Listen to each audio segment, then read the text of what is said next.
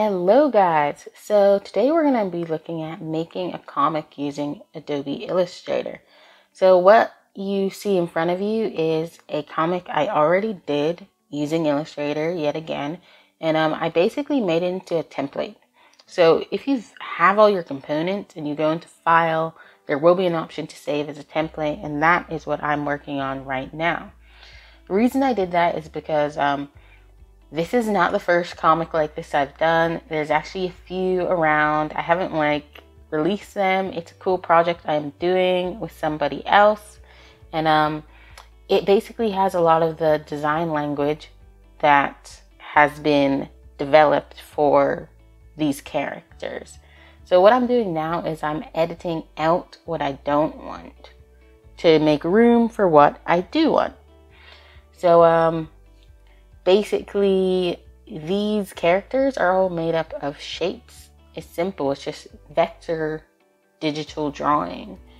It doesn't have much hand drawing, um, digital hand drawing or anything like that.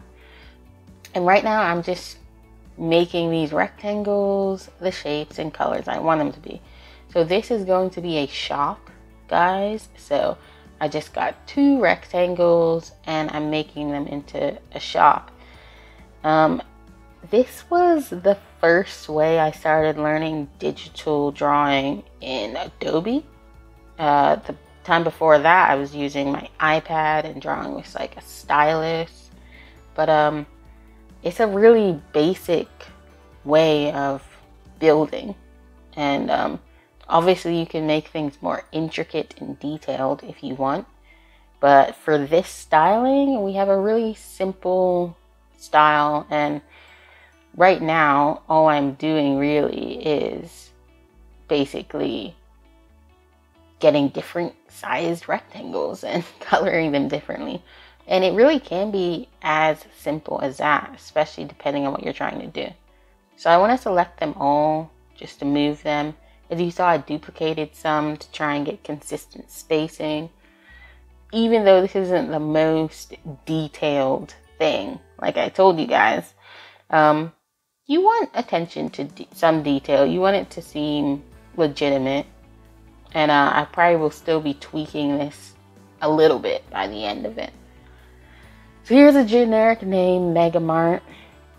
Um, I'm making just the glass door openings for this. As you see, it can be really basic. Like, basically, your goal is to make the impression of what this is. And, um, yeah, this doesn't look like your local groceries, but the color schemes I use, I told you about color coding a little bit in um, one of my previous videos, and uh, we may look into that in more detail another time, but color coding is important. You know, there's certain colors we associate with certain things, and it's very deliberate. A lot of players in the field and advertising adhere to this. So, like the kind of green in the marketplace, the glass doors we're used to seeing, these are all things that will like give you the vibe of a shop. And of course, the name. So we have a little bit of signage here, nothing fancy, just a just a color. And um, you know, you can fidget around with this. You might want to make it consistent throughout. Right now, I, I was going a bit organic, so I did a little bit of a handwriting font, but then I had to put legibility above it. So I got green there because it stood out more. And still, I'm like, hmm, it's a little hard to read, and I'm thinking this might just be read from a distance. So I'm going to sacrifice my first chosen font into something a lot more legible. And you got to make those choices all the time between just style, because it's not just a painting to be stared at, it's uh, got a purpose. Quick little rounding of the edges to make it a little more, I don't know, stylized instead of just rigid. And now we're going to look at the main content. So this comic already has it, um, the wording already like chosen. This is with the person I'm collaborating with. So I do the art part and he does the comic ideas And well, sometimes we come up with them together and yeah, we just refine it. And this is another one of those ideas. Okay, so we're just gonna move out these indoor stuff and make this outdoor world for this one. I've extended the box instead of having two boxes to one big one because I figured it'll work better for this setting. Um, again, we're not doing like loads of intricacies like being in the store with all the aisles because this might be posted somewhere like Instagram where you just have like your little square and um yeah, so you got to keep your your platform in mind as well. So uh, I just did a blue sky here, pretty basic. It's pretty samey colored, but it's clean. I might tweak that a little bit, but not to a huge extent. So right now, all I've got going on is I'm getting the people there because, like I said, these people have the same styling. So even though the waiter from the last guy isn't gonna look like that by the end of this, uh, his skin color, um, his eye shapes, the way his arms move, and like all of those major features are gonna be pretty similar. And as you see when I select them, they're just like shapes again, shapes that I've edited or cropped or merged together. This is just completely made out of shapes. And I mean, that's really drawing. I mean, and especially when you do digital drawing like this, you'll see even more how much so that's the case. So, um, we're giving our guy a little name tag, something short and sweet, and I made his shirt the same color as some of the shop colors just to make it clear that he is a representative there, he works there. And um yeah, that's the that's the plan. That's like just to make it clear. So here we have a speech bubble which I have stolen from the last one, and um, this is this is how this one goes. Uh, he writes, "Sorry, sir, but you must wear a mask," which I'm sure many of you guys are familiar with, hearing and seeing on signposts now this comic is being made in 2020, so uh, some of these themes may be relatable and relevant. And um, now I'm just gonna move his arms more to a position that makes sense for him. Before this was a waiter holding a menu, and I just made these like kind of ovals, like stretched ovals. Same with the top of his t-shirt because they're just easy to move and manipulate. And his hair I had drawn with the pencil tool and um, then filled it with color. And I made it in bits too because it's easy to manipulate. Whether it's in the comic I did it for or I want to use it for a different one, it's easy. So uh, this guy's less smiley. He's not a waiter trying to be polite, make you feel welcome. He's this guy, got a little bit of a vibe about him that like he's a bit he's a bit frowny. He doesn't look very happy in this scene. And um when you're doing it with like a couple of lines, you exaggerate it. So I'm exaggerating it with a downward line for his face in these pretty like obvious like lines shapes for his his eyebrows unimpressed. One's down, one's kind of questioning. This guy is not very impressed. He's kind of leering at the the guy. He's frowning.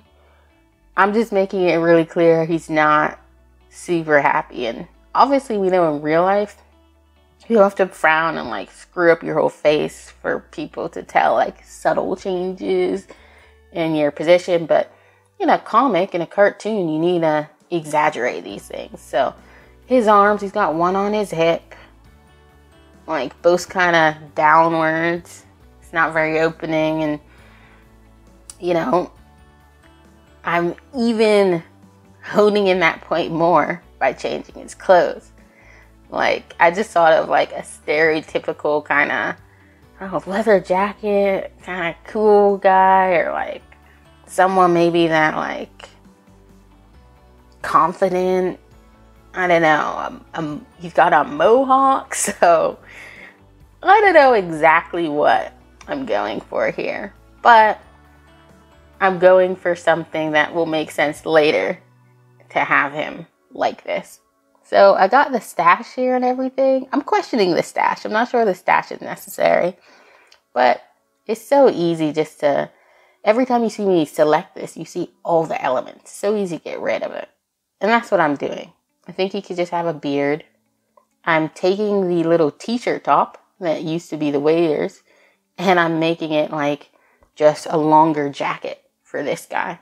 And I'm just lining them all up now. And um the kind of point is, um, you know, this is easy. Look, I just I just shifting it here and there. You could really just make a whole different composition. And especially if you're gonna make a lot of these kind of comics, start small. This is a good way to do it. I mean, you understand these are humans, people of some sort. Um, you understand like their arm positioning. You can understand their face. And that's the gist. That's what you want to do. So now we're going on to the next scene. And basically, I just want to make this around that size. It's like a zoomed in one. And this time we're going to change the facial expressions. And you'll see how this is important when you compare it to the first one. The kind of vibe you get there, we're not going for that this time. And that will make more sense once we see what's going to be said in this one. So this one is more downcast. I've put the eyebrows, and these are just lines made with. Actually, I think these are exact straight lines. So this is a line tool. This wasn't even the pencil tool. Um, I've gotten one of the speech bubbles and I made a new box and rounded the edges and I'm gonna merge them just to give more space for this guy to speak because it's just him in the scene, not the shop, not the other guy. And now you can see there's like a different disposition on his face. And you know, that's a one brilliant thing about cartoons. Um, I've merged it and I've written I've written it here. And guys, I will show it at the end so you can kind of like see the comic info. But um here, I'm always wearing a mask. I guess it's because I'm afraid to feel vulnerable. How sad. Um, but yeah, that's where we're going for here. And we're even going to draw on these big crocodile tears because, yeah, there's a, little of exaggeration and you have to because it's not like the subtleties you could pick up in person with someone. And I've just like, you know, I made another drawing just with the pencil tool, squiggly, and filled it with the same color. His eyelids, I want to kind of draw downwards. So I'm just using the white selection tool, the white cursor rather, and I'm just changing that shape. I'm making him look really sad.